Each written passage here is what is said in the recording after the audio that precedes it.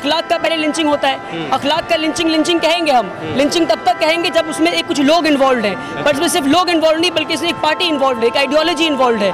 Involve कैसे है? अखलाक को जो मारने वाले लोग हैं वो जेल में मर जाते हैं। एक के मरने के बाद महेश शर्मा बीजेपी का एमपी है। बीजेपी का जो है वो मिनिस्टर है। वो आकर के तिरंगा झंडा से उसकी डेड बॉडी को कवर करता है। इसे हम पॉलिटिकल मर्डर कहते हैं इसे लिंचिंग नहीं कहते हम। पहलू खान को मारने वाले लोग चार लोगों को गवर्नमेंट जॉब दे दी जाती है।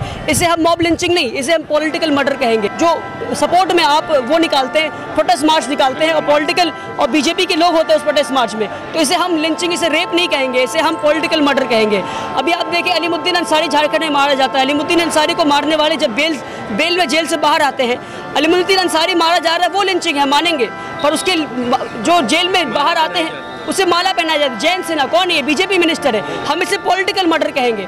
और अभी आज मोदी जी कहते हैं राज्यसभा में कि हम, वो तो अलीमुद्दीन अंसारी जो आज हुआ, तब्रेज के साथ उसका तो वो निंदा करते नहीं, कहते हैं कि हाँ बहुत दुख है। दुख तो है। दुख एक चीज़ होती है। दुख तो हमें कुत्ते मरने भी होता है। मगर हम निंदा करेंगे कुत्ता को आपने मारा, वो गलत किया आपने। यहाँ इंसान मरा है। आप कम से कम निंदा करें कि इंसान को क्यों मारा गया? सवाल करें। फिर आप कहते हैं, झारखंड को बदनाम किया जा रहा है। तब आप हर जगह अपनी पॉलिटिक्स ला देते हैं। तो ये लिंचिंग नहीं है मॉब लिंचिंग नहीं है। ये पॉलिटिकल मर्डर एक आइडियोलॉजी का मर्डर है। और ये ऐसी चीज़ है जो मेजोरिटी ये प्रूव करना चाहती है माइनॉरिटी को, देखो लॉ तुम्हें बचा नहीं सकती है। लॉ तुम्हें नहीं बचा सकती है। हम तुम्हें बचाएँगे और हम तुम पे रूल करेंगे। और इस आइडियोलॉजी को बदलना है जब मेजोरिटी माइनॉरिटी पे रूल कर रहा है। इंडिया मेजोरिटी माइनॉरिटी का देश ये सेक्युलर डेमोक्रेटिक देश है। और हमें इस देश के जो ये उसूल है secularism democratic republic sovereign socialist हमें इनको बचाना है। देखिए नेपोलियन ने कहा था कि the world suffers not because of violence of bad people the world suffers because of silence of good people हम जो अच्छे लोग हैं वो चुप बैठे हैं आज। और ये जो फ्रेगमेंटेड वे में यहाँ हज़ार लोग जमा हो गए बस ऐसे नहीं होगा पूरे देश को बाहर आना होगा जी। और कहना होगा कि इसकी निंदा करते हैं हम। अगर टुकड़ों में इस तरह करते रहेंगे सारे टुकड़े मारे जाएँगे हम। हमें फ्रेगमेंटेड वे में आवाज़ नहीं उठानी है। हमें एक होकर आवाज़ उठानी है। अगर आप पाँच उंगली को अगर मुठ्ठी बना लेंगे तो जाके ताकतवर बनता है। एक पाँच उंगली की उंगली कोई ताकत नहीं हमारी। हमें मुठ्ठी बन के निकलना होगा। और आप देखिए राहुल गांधी जी ने कल एक ट्वीट किया। पहली बात तो ये हमें समझना है एक भी ऑपोजिशन लीडर एक भी अपोजिशन लीडर इसकी निंदा नहीं कर रहा है। और जो निंदा कर रहे हैं देखिए राहुल गांधी ने कल ट्वीट किया अब राहुल गांधी जी से मेरी शिकायत है कि आपने ट्वीट तो किया ट्वीट में आपने मुसलमान शब्द इस्तेमाल नहीं किया। उन्हें डर है कि मुसलमान शब्द का इस्तेमाल कर देंगे कि मुसलमान मारा गया है। मुसलमान शब्द का इस्तेमाल कर देंगे शायद उनका वोट चला जाएगा। अब आप इसको डिनाई कर सकते हैं क्या दलित और मुसलमान मारे जा रहे हैं। हम डिनाई नहीं कर सकते। तो आप ओपनली आइए बताइए कि हाँ दलित और मुसलमान मारे जा रहे हैं। लिंचिंग लिंचिंग करने से नहीं होगा। जो मारे जा रहे हैं उनके हक में आवाज़ उठानी है हमें आज।